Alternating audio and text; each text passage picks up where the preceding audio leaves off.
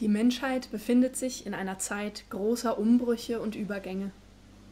Zahlreiche Menschen sind an diesen Umbrüchen beteiligt.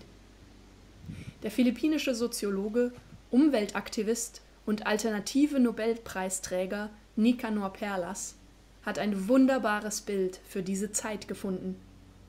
Der Wandlungsprozess einer Raupe zum Schmetterling. Wenn sich eine Raupe in ihren Kokon einspinnt, vollziehen sich parallel zwei Prozesse. Einerseits beginnen Enzyme damit, die Zellstruktur des Wurms aufzulösen. Andererseits entstehen parallel zu diesem Zerfall neue Zellen, die sich von den Zellen des Wurms massiv unterscheiden. Sie schwingen sozusagen in einer anderen Frequenz als der Rest des Raupenkörpers. Wissenschaftler nennen diese neuen Zellen imaginativ oder Imagozellen, weil sie bereits die Strukturen und Informationen des Schmetterlings enthalten, der sich in der Zukunft bilden soll. Diese Zellen repräsentieren also so etwas wie eine Zukunft, die schon in der Gegenwart enthalten ist und nach Entfaltung strebt. Und je mehr das alte biologische System krisenhafte Zerfallsstrukturen zeigt, desto wirksamer und zahlreicher werden die Imagozellen.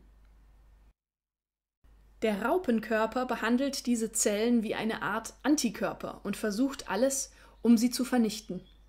Das Immunsystem des Körpers wird aktiviert, der etwas Körperfremdes zu bekämpfen versucht.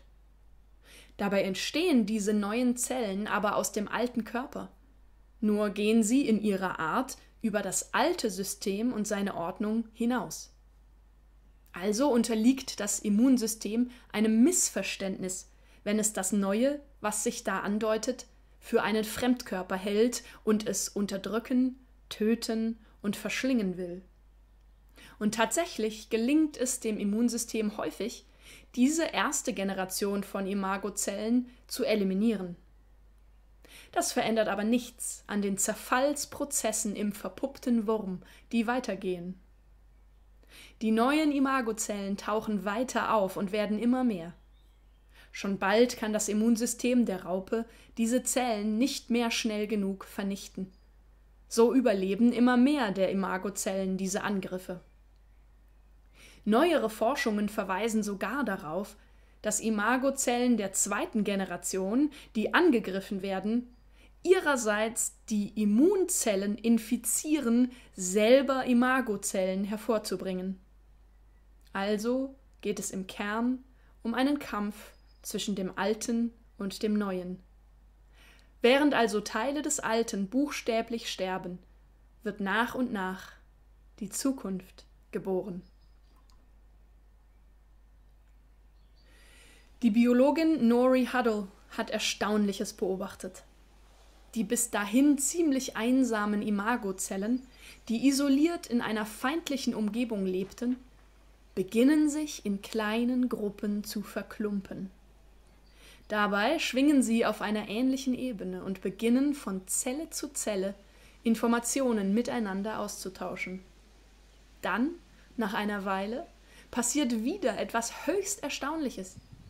Diese Klumpen von Imagozellen beginnen Gruppen und regelrechte Netzwerke zu bilden. Sie formen lange Fäden von verklumpten Imagozellen, die in der gleichen Frequenz schwingen und nun in größerem Maßstab miteinander innerhalb der verpuppten Larve Informationen austauschen. Dann, an einem bestimmten Punkt, scheint dieser lange Faden von Imagozellen plötzlich zu begreifen, dass er etwas ist. Etwas anderes als die Raupe, etwas Neues.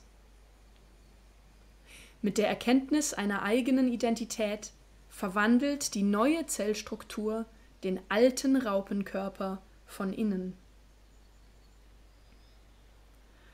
Diese Erkenntnis ist die eigentliche Geburt des Schmetterlings. Denn damit kann jetzt jede Schmetterlingszelle ihre eigene Aufgabe übernehmen. Für jede der neuen Zellen ist etwas zu tun. Alle sind wichtig. Und jede Zelle beginnt das zu tun, wo es sie am meisten hinzieht.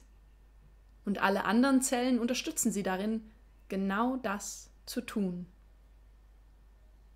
Das ist die perfekte Methode der Natur, einen Schmetterling zu erschaffen. Und ein wunderbares Beispiel dafür, wie eine Schmetterlingsbewegung aufzubauen ist.